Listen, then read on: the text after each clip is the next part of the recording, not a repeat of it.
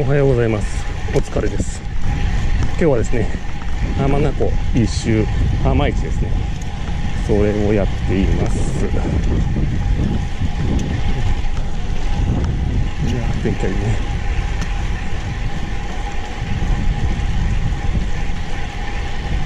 それでですね今日はですね浜市をしながら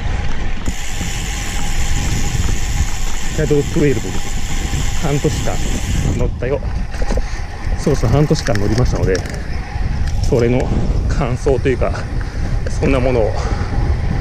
また話していきたいと思いますけども。天気がいいな。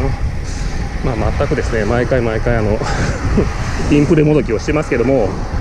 まあお役には全く立ってないと思うんですよ。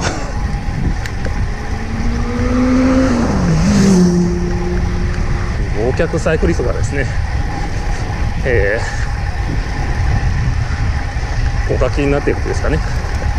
そちらの情報の方が正しいと思いますのでま間違ってるところだらけだと思うんですけども私の感想なんで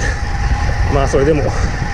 聞いてやるよという方いました聞いてください。お願いします、キャド12まあ手に入れた経緯というのは前にも話した通りまあ諸事情ありましてですねもう気持ちいいな、まあ、若干定価よりもお安く手に入れたんですよ。大体キャド12買う方はほぼほぼ完成車で購入される方が多いと思うんですけども私の場合はですね私の場合はです。風強風強フレーム単体で手に入れましてそれをですね単純にコンポーネントを組み替えて乗ろうと思いましたらですねこちらのキャノンデール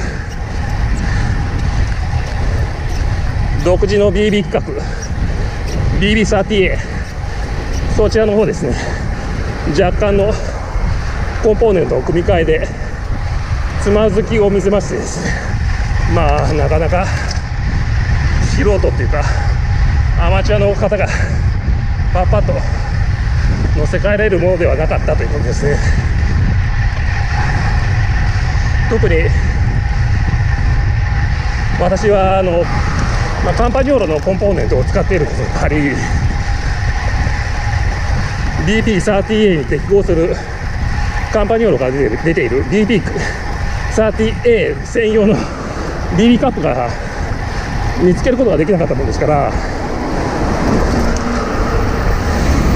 フランクだけシマノの105何シリーズか分かりませんけどもそちらの方使用して組んだ次第でございます。コストとか手間とかを考えるともう絶対にですね、まあ、こだわりの12カラーっていうんですかね、うん、自分の気に入ったカラーがありどうしてもそれが乗りたいっていう方以外でしたら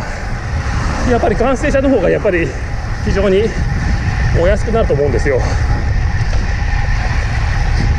えー、っと完成車で105組が20万円前後だと思うんでそれにマービックのアクシウムがついてきましてえー、っとクランクがキャノンデールが出ている。SI クランクっていう軽量なタイプのクランクがついているので結局フレームの世界と下手したら BB アタッチメントを交換したら。そんなに対して変わらなくなってしまうんですよ。まあそんなことも知らずに。まあ型落ちですね。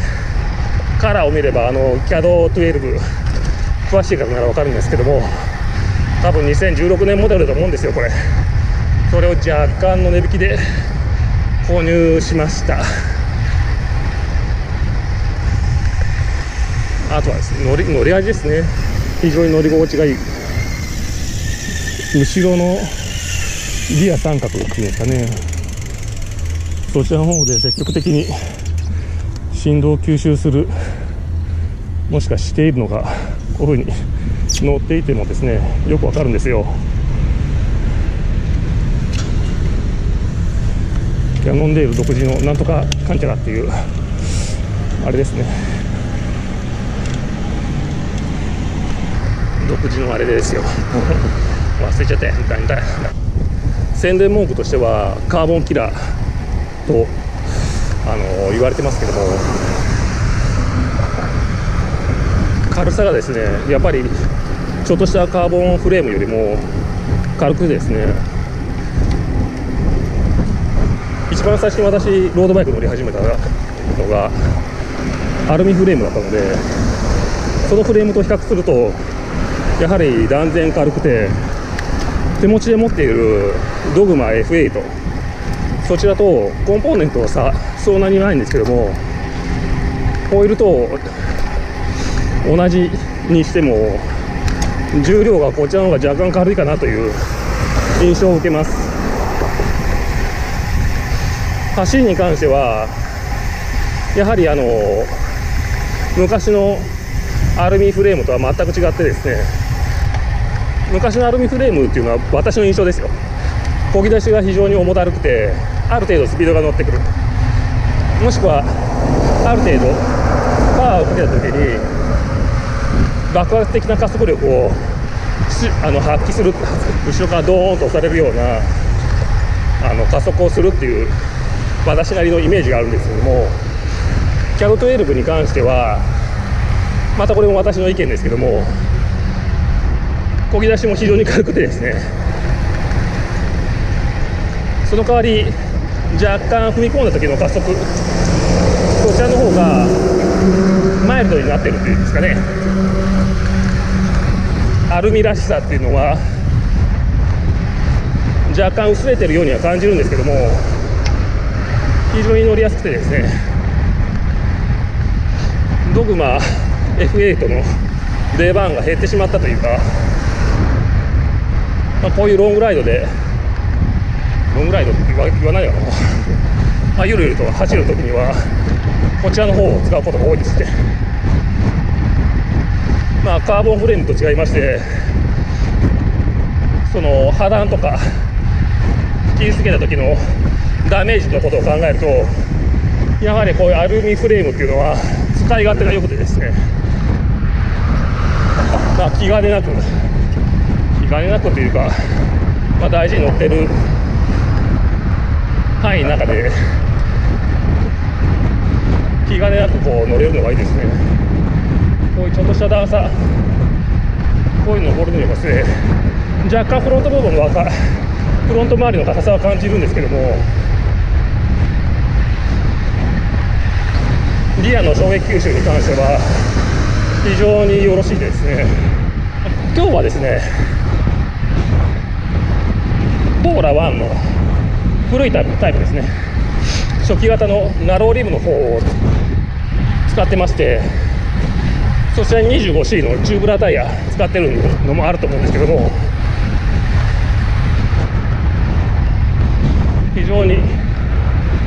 軽快に走ってくれますね。非常に向かい風が厳しいんですけども今のこの状態。なかなかこうスルスルと走ってくれますよね。いや橋の上は結構風が強いですね。こういう若干の横風が若干じゃないですね。横風が吹いている場面でもですねフロントフォークがですね若干ですよ。若干ベントしてるんですよ。完全なストレートフォークじゃないもんですから。フロントに 50mm のディープリムを履いていてもこういう横風の強いところでナーバスになることはないですねハンドリングが。まあちょっと昔のストレートフォーク出たての頃のフレームだとこのぐらい風が吹いているとこのぐらいってても視聴者様にはわからないと思うんですけどもまあぼちぼち吹いてるんですよ。そのぐらいの風が吹くと非常に不安定で操作がないバスになるということが多々ありましてですね、まあ、それに比べると非常に乗りやすいですね乗られてる方がそれなりに多いので、まあ、ちょっと人とは違うものに乗りたいという方には物足りなさを感じると思うんですけども非常に私は、まあ、ちょっとしたあの偶然の出会いで 手にしたキャロットウェーブですけども非常に満足しております。今日は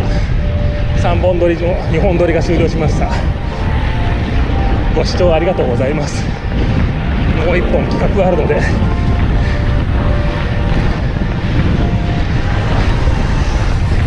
それもまた見てね。